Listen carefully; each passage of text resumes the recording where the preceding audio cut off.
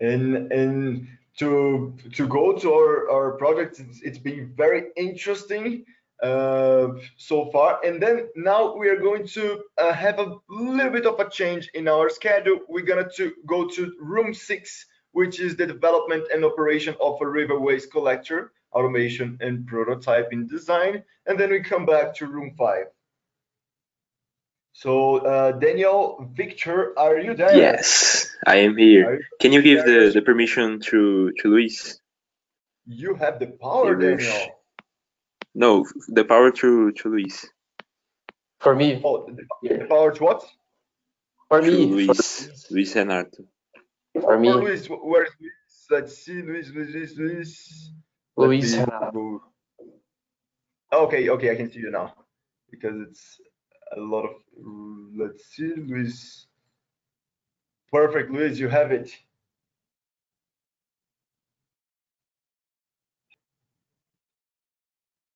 So great. So good morning, everybody, or good afternoon.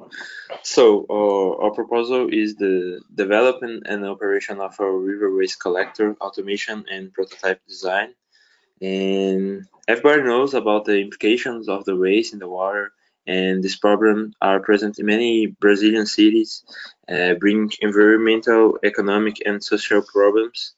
Um, our project focuses on on six SDGs, and the SDG 6, uh, 12, 3, and 4, uh, which is clean water and sanitation, and and the the other two just pick up here. And, and yes, um, clean water sanitation, we've talked about the responsible consumption and production, good health and well-being and life below water, respectively. And our current works focus on building a collector to operate a calm rivers and lakes remotely controlled, like the in the photo. Um, these collectors work by a conveyor belt who take the, the superficial waste of the water and is operated remotely by a, a person. And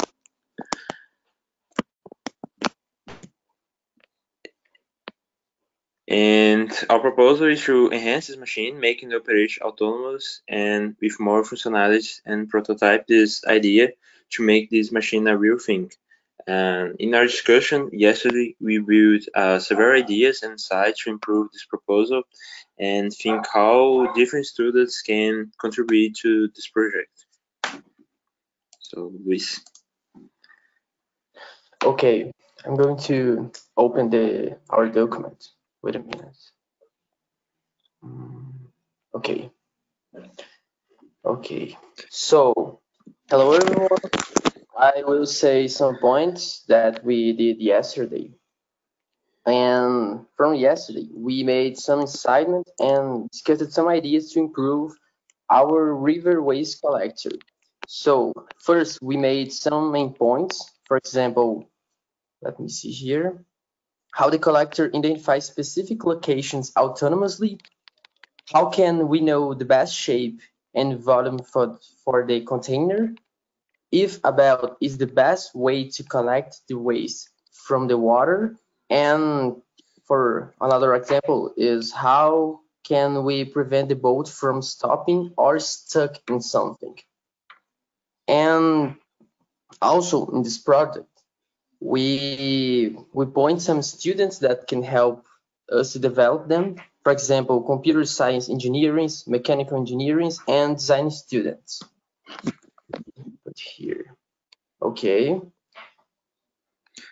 Another point is the risk that the project has. For example, we can have some financial problems, some climate conditions that can make difficult the project. And finally, we decide here some key insights. For example, build our collector like the Roomba idea. I don't know if everyone know what is Roomba. It's like a robot that clean houses.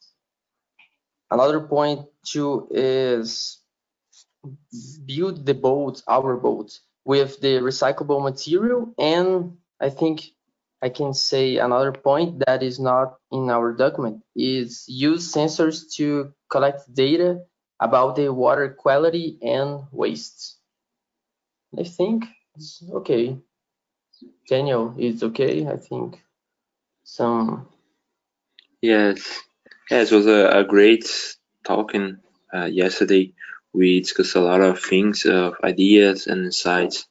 It was very great, and this this project seems to be a very nice project for for doing.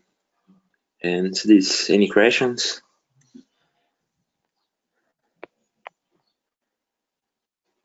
I have a, a question. Uh, I saw that your system is really similar to a system from uh, an organization called the Ocean Cleanup, that is a, a Dutch organization.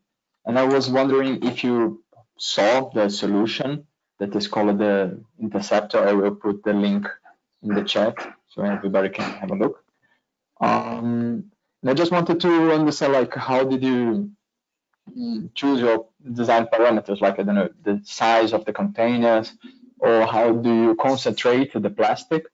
Um, because, for example, for these all the solution, they more or less create a barrier in the top of the river, so they can like funnel everything. They can put everything to go to the conveyor belt, and then they they're able to fill these containers. Yeah, and your solution maybe you, you did this, but uh, from the image that I saw, I, I cannot understand uh, exactly how more waste will go there besides the waste that will be directly in the line of the conveyor belt.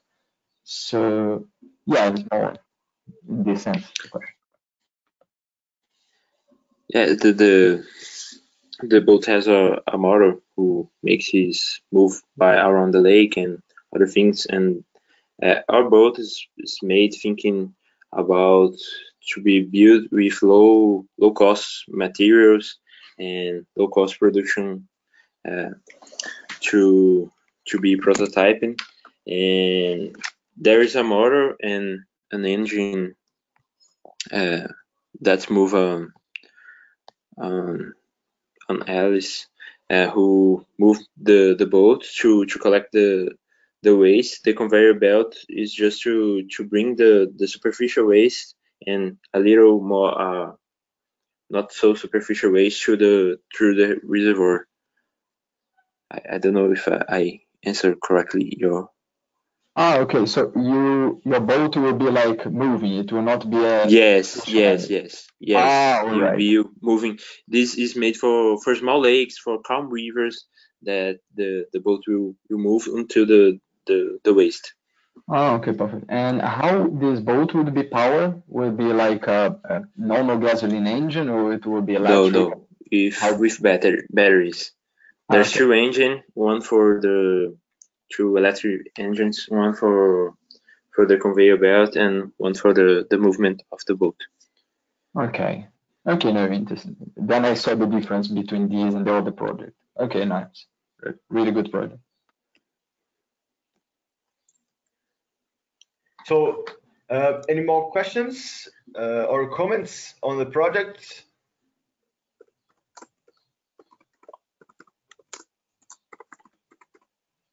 Just a comment. Uh, from the other, oh, Professor João Melo, go ahead. Yes, uh, next uh, last semester we had the Dutch involved. Uh, in this semester, we, we have some perspective of involvement of some international guys or only the Brazilians.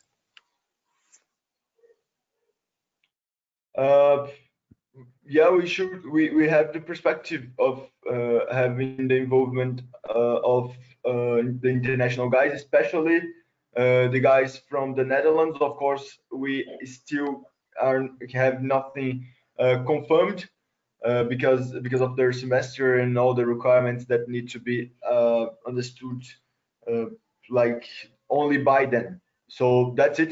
Daniel, Victor, do you have anything else to add? about the technical aspect of I think it's possible for for collabor collaborating with them, right? Yes, yes, for sure. Wonderful. Wonderful. So, Professor Melo, that's it. Any more, any more points from the And other people from river waste teams? Uh, You see, we had uh, Sondra, Sandra, and uh, now I have Elizabeth from, from Norway. Is that any uh, perspective for involvement of uh, Norwegian uh, students in this project?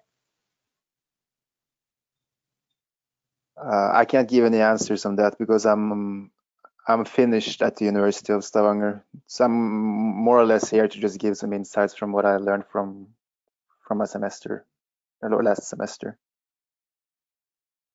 Uh, but I mean, uh, maybe talk to Jan Frick, the professor at University of Stavanger. Maybe he can give some more answers to that. Okay, can you just uh, help us in, in, in having this contact? Yeah, of course. Okay, thank you.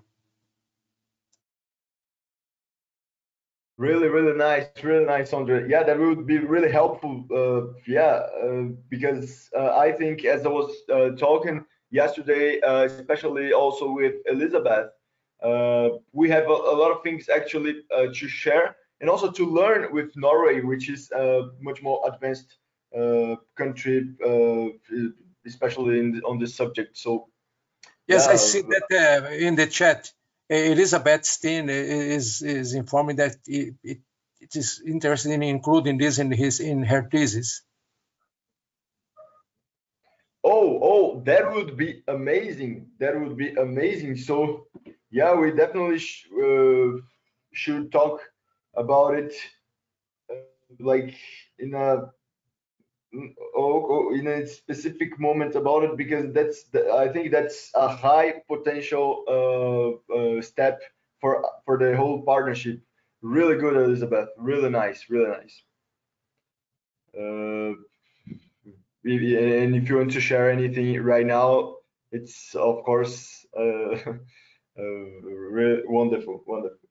So, but but but I think but I think like uh, with that established, that comment of Professor Romelo was uh, key because we need partnership because we cannot, uh, as Jens was mentioning in the beginning of this event, we cannot reinvent the wheel. We have to reuse uh, our previous results and also reuse the existing results from anywhere. So that's how we can uh, actually make real progress.